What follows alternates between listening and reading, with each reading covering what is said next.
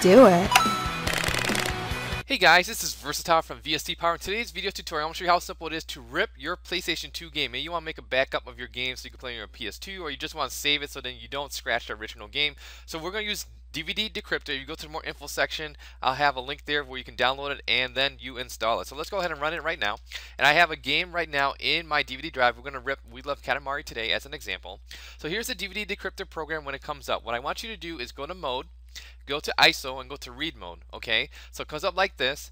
Now you put in your game, right? Now you say destination, so let's select a folder to where to dump it.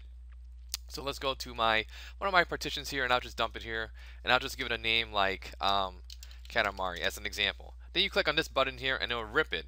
So ripping is pretty easy. The PS2 DVD game structure doesn't really have any game protection. So once you start ripping it, it could probably take, you know, four, five, six minutes. So what I'm going to do is I'm going to pause the video momentarily and then once it is done I'll show you how to actually burn the game. It's pretty simple as well. Alright, so we are back and here it is. It's going to be done just about now. Alright, so it's successfully completed. So let's go ahead and eject the PS2 game from your DVD drive or Blu-ray drive or whatever you're using.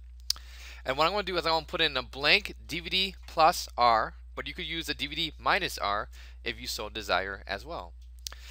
So what's going to happen now is you wait for it to um, recognize your blank DVD disc. Once you have done that, and I'll just wait for it a little bit here, we're going to change the mode from read mode to write mode. Now, I'm not going to actually write the game because I already have a backup copy, so let's go to mode, go to ISO, and go to write.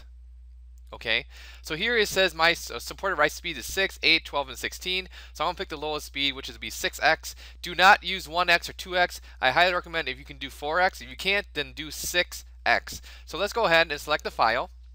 So let's go ahead and select the katamari.iso for example.